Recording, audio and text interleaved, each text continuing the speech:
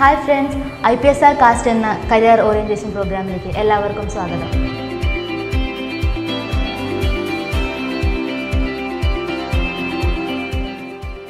I T രംഗത്തെ career സംബന്ധമായ നിങ്ങളുടെ സംശയങ്ങൾക്ക് മറുപടി പറയുക എന്നുള്ളതാണ് ഈ വീഡിയോ കൊണ്ട് ഞങ്ങൾ ചെയ്യുന്നത്. Once again welcome to yet another new episode of I P S R career studio ഈ എപ്പിസോഡിൽ ഇന്ന് നമ്മളോടൊപ്പം ഉള്ളത് മിസ് ഉത്തരയാണ്.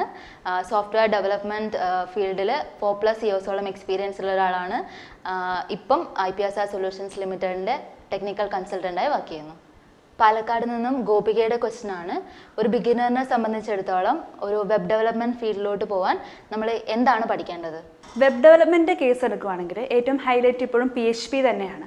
കാരണം നമ്മൾ മോസ്റ്റ്ലി എല്ലാ വെബ്സൈറ്റും തന്നെ പി എച്ച് പിയിൽ റൺ ചെയ്യുന്ന വെബ്സൈറ്റാണ് ഫോർ എക്സാമ്പിൾ നമ്മുടെ ഫേസ്ബുക്ക് തന്നെ മെയിൻ ആയിട്ടുള്ളൊരു വെബ്സൈറ്റാണ് ഫേസ്ബുക്ക് സോഷ്യൽ നെറ്റ്വർക്കിംഗ് സൈറ്റാണ് അത് പി എച്ച് പിയിലാണ് റൺ ചെയ്യുന്നത്. അപ്പം ഒരു ബിഗിനർ എന്നുള്ള രീതിയിൽ ഏറ്റവും സിമ്പിൾ ആൻഡ് ഈസി സിൻടാക്സ് ഉള്ളത് പി എച്ച് പിക്ക് തന്നെയാണ്. അപ്പോൾ better option P H P choose ചെയ്യുക എന്നുള്ളത് തന്നെയാണ്. പിന്നെ ജോബ് വേക്കൻസീസിന്റെ കാര്യത്തിലാണെങ്കിലും പി എച്ച് പി തന്നെയാണ് ഹയർ കമ്പാരിറ്റി കമ്പയർ ചെയ്യുവാണെങ്കിൽ നമുക്ക് വെബ് ഡെവലപ്മെന്റ് നടക്കുന്നത് പി എച്ച് പിയുടെ ഫ്രെയിം വർക്കായ വേർഡ് പ്രസ്സിലാണ് ഇപ്പം ഓൾ ഓവർ നോക്കുവാണെങ്കിൽ ഒരു നമ്മൾ മാർക്കറ്റ് ഷെയറിന്റെ കണക്കനുസരിച്ച് ഒരു നയന്റി പോയിന്റ് ഫൈവ് പെർസെന്റേജോളം തന്നെ വേർഡ് ആണ് ലീഡിംഗ് വെബ്സൈറ്റ്സ് എല്ലാം ഡീൽ ചെയ്യുന്നത്. അതുകൊണ്ട് തന്നെ പി എച്ച് പി ആയിരിക്കും നമുക്ക് ഏറ്റവും നല്ലൊരു ഓപ്ഷൻ നിങ്ങളൊരു വെബ് ഡെവലപ്മെന്റ് ആണ് ഉദ്ദേശിക്കുന്നതെങ്കിൽ. ഒരു വെബ് ഡെവലപ്പറാകാൻ പി എച്ച് പി നല്ലൊരു ഓപ്ഷൻ ആണെന്നുള്ള കാര്യം നമ്മളിപ്പോൾ സംസാരിച്ച് കഴിഞ്ഞു. ഇനി ഇതിന്റെ ഡ്യൂറേഷൻ എന്തൊക്കെയാണ്? അതിനകത്ത് എന്തൊക്കെ കാര്യങ്ങളാണ് പഠിക്കാനുള്ളത്? നമ്മുടെ പി എച്ച് പി കോഴ്സിന്റെ ഡ്യൂറേഷൻ ഏകദേശം ഫോർട്ടി ഫൈവ് ഡേയ്സ് ആണ് വരുന്നത്. വർക്കിംഗ് ഡേയ്സ് ഫോർട്ടി ഫൈവ് വരുന്നു. നമുക്ക് രണ്ട് രീതിയിലാണ് നമ്മൾ കോഴ്സ് കാറ്റഗറൈസ് ചെയ്തിരിക്കുന്നത്. ഫസ്റ്റ് വൺ നോർമൽ കോഴ്സ് അത് നമ്മുടെ basic P H P cover ചെയ്യുന്നതാണ്.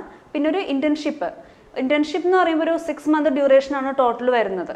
ഇപ്പം നോർമൽ കേസിൽ ഇപ്പം നോർമൽ കോഴ്സിന്റെ കേസിൽ പി എച്ച് പിയിൽ നമുക്ക് വരുന്നത് മെയിനായിട്ടും what is P H P അതുപോലെ തന്നെ basic syntax how to write a program in P H P അങ്ങനത്തെ കാര്യങ്ങളാണ് കൂടുതലും വരുന്നത്.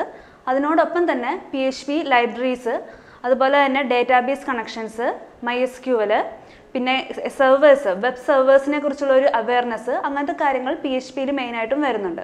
അപ്പം നമുക്കൊരു വെബ്സൈറ്റ് ക്രിയേറ്റ് ചെയ്യാൻ വേണ്ടി ഒരു കോർ പി എച്ച് പി മതി.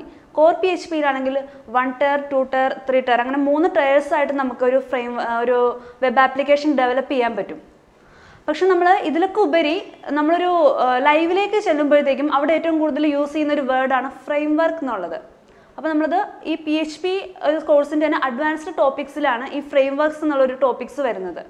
ആ ഫ്രെയിം വർക്ക്സിൽ വരുന്നത് കോഡിഗ്നേറ്റർ സെന്റ് Laravel WordPress WordPress ഒരു സി എം എസ് ആണ്. ഫ്രെയിം വർക്ക് അല്ല ഒരു സി എം എസ് ആണ്. സി എം എസ് എന്ന് പറഞ്ഞാൽ കണ്ടന്റ് മാനേജ്മെന്റ് സിസ്റ്റം അപ്പോൾ ഞാൻ ഓൾറെഡി പറഞ്ഞു കഴിഞ്ഞു.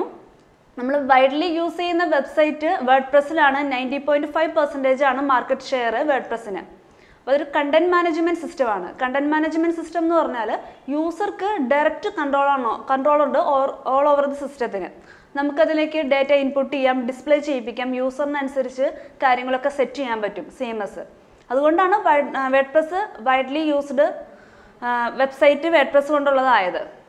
ഇനിയിപ്പം നെക്സ്റ്റ് നമ്മളൊരു ഫ്രെയിം വർക്കിന്റെ കാര്യം ഡീൽ ചെയ്യുവാണെങ്കിൽ ഫ്രെയിം വർക്ക് എന്ന് പറഞ്ഞ ഒരു ബിൽട്ട് ഇൻ സ്ട്രക്ചറാണ് ഒരു പ്രോഗ്രാമിംഗ് ലാംഗ്വേജ് യൂസ് ചെയ്തിട്ടുള്ള ഒരു ഒരു ഫങ്ഷനാലിറ്റിയാണ് അല്ലെങ്കിൽ ഒരു ബ്ലൂ ഒരു ബിൽഡിങ്ങിനെ സംബന്ധിച്ച് ഒരു ബ്ലൂ പ്രിന്റ് എന്ന് പറഞ്ഞാൽ അതിന്റെ ഒരു ബേസിക് പ്ലാനാണ് അപ്പോൾ അതുപോലെ തന്നെ ഒരു പ്രോഗ്രാമിംഗ് ലാംഗ്വേജിന്റെ ഒരു ഫ്രെയിം വർക്ക് എന്ന് പറഞ്ഞാൽ അതിന്റെ ഒരു കുറച്ച് പ്രോഗ്രാമിംഗ് ലാംഗ്വേജസ് കൊണ്ട് ബിൽഡ് ചെയ്തെടുക്കുന്ന ഒരു ബ്ലൂ പ്രിന്റ് തന്നെയാണ്.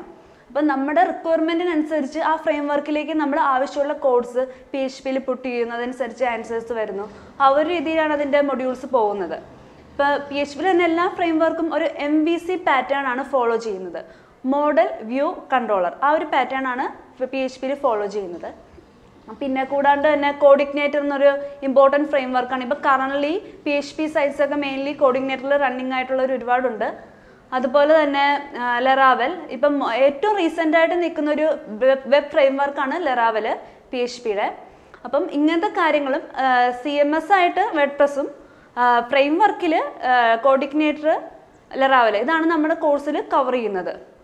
ഇത്രയും കാര്യങ്ങൾ നമ്മൾ കവർ ചെയ്യും. ഇത് ഇന്റേൺഷിപ്പിന്റെ കാര്യമാണ്. ഇത് ഞാൻ ബേസിക് കോഴ്സിന്റെ കാര്യമാണ് പറഞ്ഞത്.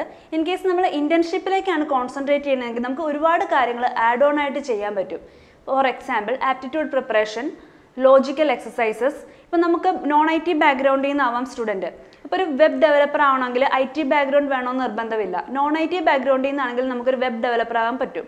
അപ്പം നമ്മൾ ആ കോഴ്സ് നമുക്ക് ഒരു പ്രോഗ്രാം ചെയ്യുക എന്ന് വെച്ചാൽ ലൈക്ക് പ്രോബ്ലം സോൾവിങ് അപ്പോൾ നമുക്ക് ആ പ്രോബ്ലം സോൾവ് ചെയ്യാനുള്ള ആ ഒരു സ്കില്ല് ഡെവലപ്പ് ചെയ്തെടുത്താൽ തന്നെ നമുക്ക് ഏതൊരു പ്രോഗ്രാമിംഗ് ലാംഗ്വേജും അനായാസം പഠിച്ചെടുക്കാൻ പറ്റും. അപ്പോൾ ഫസ്റ്റ് തന്നെ നമ്മൾ we should answer a logical question ആ ഒരു പാറ്റേണിലാണ് പോകേണ്ടത്. ഒരു ലോജിക്കൽ ക്വസ്റ്റ്യൻസ് തന്നെ നമുക്ക് ആൻസർ ചെയ്യാൻ പറ്റിയാൽ നമുക്ക് ഇപ്പം മിക്ക ഇന്റർവ്യൂസും തന്നെ first round aptitude and logical second round technical test പിന്നീട് എച്ച് ആർ ജി ഡി അങ്ങനെയായിരിക്കും പോകുന്നത്. അപ്പം ഇപ്പം നമ്മുടെ ഈ ജോബിന്റെ കോമ്പറ്റീഷൻ വളരെയധികം ഉള്ള ഈ സമയത്ത് നമുക്ക് ഇത്രയും റൗണ്ട്സിലൂടെ ഓരോ സ്റ്റുഡന്റും കടന്നു പോകേണ്ടതായിട്ട് വരും. അപ്പോൾ നമ്മൾ ഒരു ടെക്നിക്കൽ ഏരിയയിൽ ഒരു ബേസ്മെന്റ് മാത്രം ഉണ്ടായാൽ പോരാ.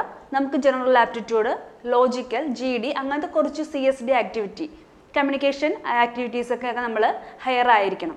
അപ്പം നമ്മുടെ ഇന്റേൺഷിപ്പ് കോഴ്സിൽ ഇതുപോലത്തുള്ള ആപ്റ്റിറ്റ്യൂഡിലേക്കുള്ള പ്രോഗ്രാംസും logical skills communication development programs ഇത്രയും പ്രോഗ്രാംസും കൂടി നമ്മൾ അബ്സ്ട്രാക്ട് ചെയ്തിട്ടാണ് നമ്മുടെ ഇന്റേൺഷിപ്പ് കോഴ്സ് ഉള്ളത്.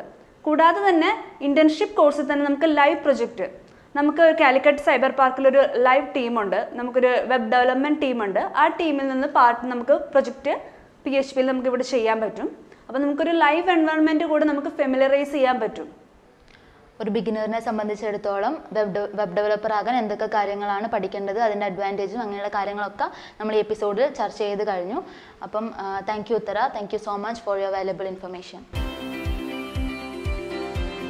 I T രംഗത്തെ കരിയർ സംബന്ധമായ നിങ്ങളുടെ സംശയങ്ങൾ ഞങ്ങളോട് ചോദിക്കാവുന്നതാണ്. ചോദ്യങ്ങൾ കമന്റായോ മെയിലായോ വാട്സപ്പ് മെസ്സേജായോ നിങ്ങൾക്ക് അയക്കാവുന്നതാണ്.